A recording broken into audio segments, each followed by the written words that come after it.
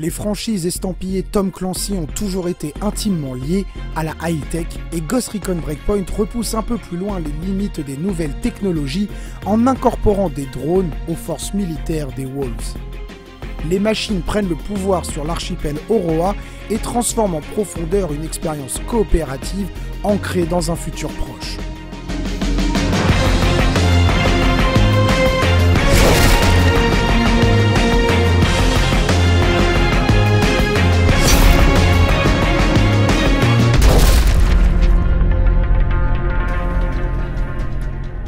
Vraiment cette envie euh, pour le joueur de lui apporter des nouveaux challenges au travers l'ajout d'archétypes euh, d'IA.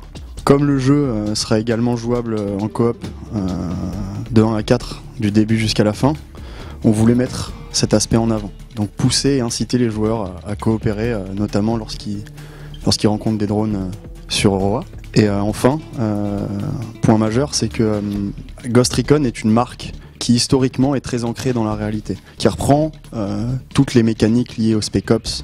Et on a mis ça vraiment en avant dans Breakpoint à travers de, nouvelles features. Ubisoft a conçu une vingtaine de drones aériens et terrestres en collaborant avec l'ancien agent des renseignements français Mathieu Bonnery, la société Milrem Robotics et bien d'autres consultants. Modulables à volonté, ces unités mécanisées s'intègrent parfaitement dans le lore de la franchise et en respectent le contexte d'anticipation. Les drones de Scale Technology s'adaptent à tous les terrains, toutes les conditions et remplissent, selon les besoins, plusieurs fonctions. Rechercher, patrouiller, transporter, protéger, détruire. Ces derniers répondent aux problématiques des Wolves et donnent du fil à retordre aux Ghosts. Les combats face à ces soldats privés d'émotions exigent précision, préparation et matériel adapté sous peine de mordre la poussière. Toutefois, ces monstres de métal possèdent plusieurs points faibles à exploiter afin de prendre le dessus. Alors on a vraiment voulu créer une, euh, profondeur gameplay autour des drones. Donc euh, chaque drone va être euh, construit d'une manière spécifique et va avoir son propre comportement d'attaque. On parlait tout à l'heure du Behemoth par exemple, ce drone là bah, va avoir des weak points que le joueur va devoir exploiter pour arriver à, faire baisser ses, points de vie. Ils ont également sous leur grosse plaque d'armure un cœur orange qui permettra aux joueurs de faire plus de dégâts. Et puis il y a tous les outils à disposition du joueur, euh, les grenades de stun, les lance-roquettes, qui vont être primordiaux dans, euh, ces, phases de combat-là en fait. Les créations de Scale Technology changent drastiquement l'approche des affrontements armés et enrichissent à leur manière l'expérience sur Oroa. En effet, la coopération est plus que jamais requise pour espérer s'exfiltrer de l'archipel en vie la présence des drones encourage le travail d'équipe.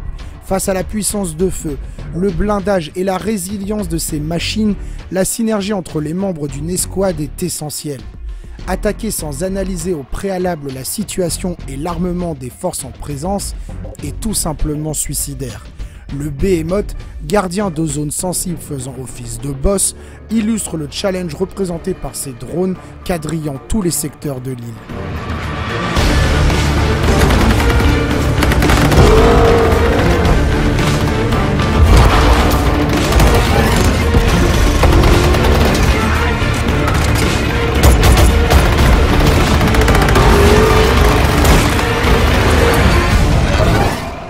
On a euh, vraiment différents types de drones dans le jeu. En effet, certains vont permettre de répondre à des problématiques différentes et vont avoir des niveaux de difficulté différents.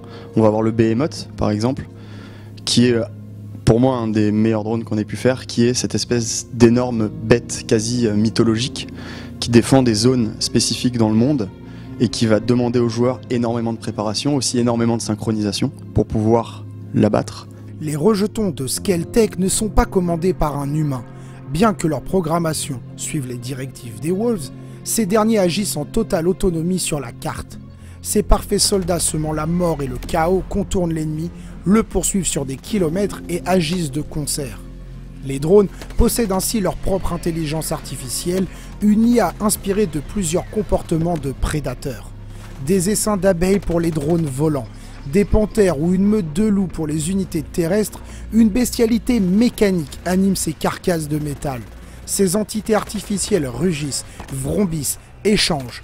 Par les sons émis et les animations, les drones de Breakpoint prennent ainsi vie.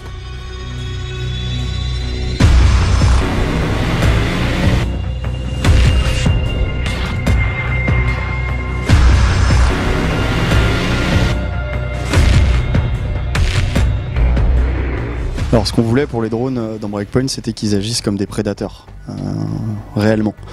Et aujourd'hui, euh, quand on regarde un peu, on se rend compte qu'il y a des animaux, il y a tout un tas d'éléments qui existent qui permettent de rappeler ça.